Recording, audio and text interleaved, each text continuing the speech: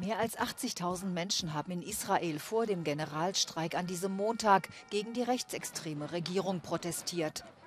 Es ist schon die sechste Woche der Proteste, die sich vor allem gegen die vom Kabinett Netanyahu geplante Justizreform richtet. Die politischen Gegner Netanyahus sprechen davon, dass er Israel in eine Diktatur verwandelt, vor allem um einem Prozess wegen Korruption zu entgehen.